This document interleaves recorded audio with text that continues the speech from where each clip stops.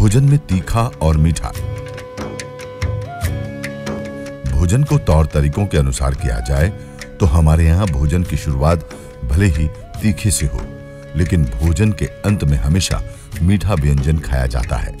इसके पीछे का वैज्ञानिक तर्क यह है कि शुरुआत में तीखा भोजन करने से हमारा पाचन तंत्र ठीक तरीके से कार्य करना शुरू कर देता है, और अंत में मीठा व्यंजन खाने से अम्ल की तीव्रता कम हो जाती है।